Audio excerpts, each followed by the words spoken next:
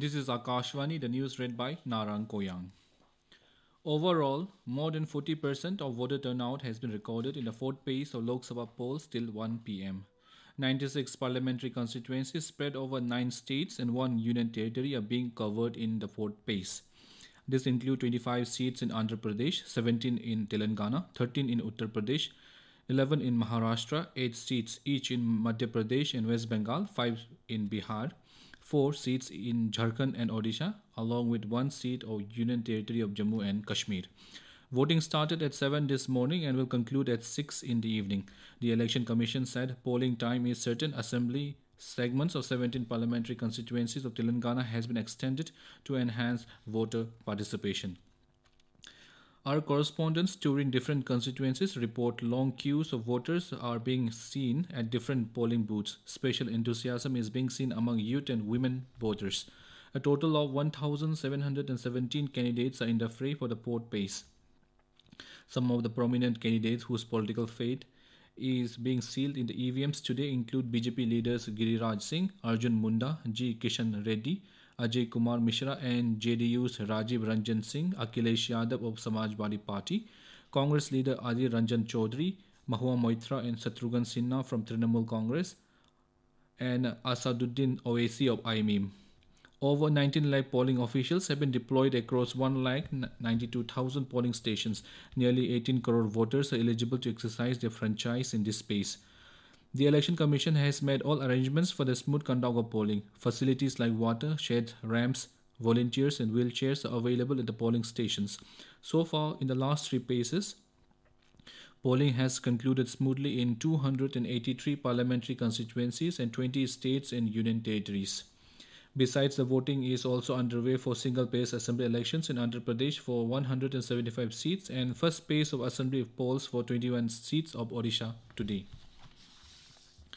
Campaigning is in full swing for the remaining three phases of Lok Sabha elections. Senior political leaders are crisscrossing the states to hold public meetings and road shows to garner support for their parties.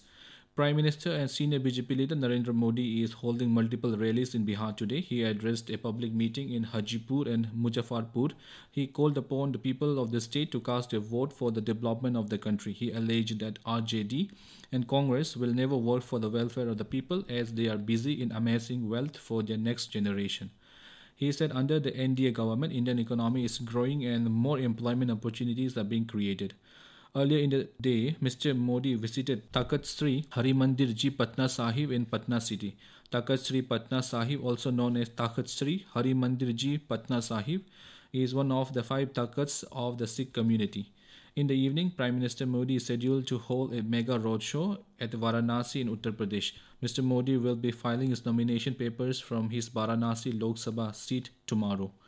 Senior Congress leader Rahul Gandhi addressed a public meeting at Rai Bareli in Uttar Pradesh. He promised that if Congress India bloc comes to power at the center, then its first job will be to waive off loans of poor farmers.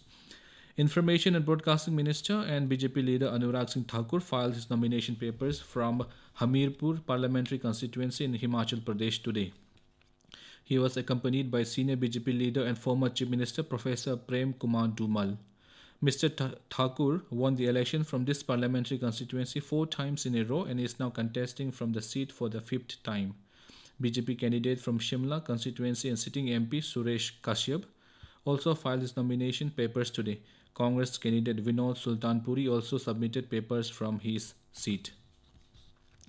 Supreme Court today refused to grant interim bail to former Jharkhand Chief Minister Hemant Soren in connection with the money laundering case linked to an alleged land scam, citing recent release of Delhi Chief Minister Arvind Kejriwal from jail as an example. Mr. Soren sought interim bail to campaign for his party Jharkhand Mukti Morcha in the ongoing Lok Sabha elections. The Central Board of Secondary Education CBSE today declared the results of class 10 and 12 board examination in which girls have outshined boys. In a statement, CBSE said 87.98% students have passed the class 12 board exams. The passing percentage is 0.65% higher than last year.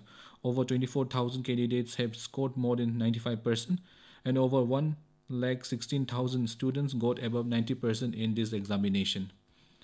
In IPL cricket, Gujarat Titans will lock horns with Kolkata Knight Riders at Narendra Modi Stadium, Ahmedabad this evening at 7:30 p.m.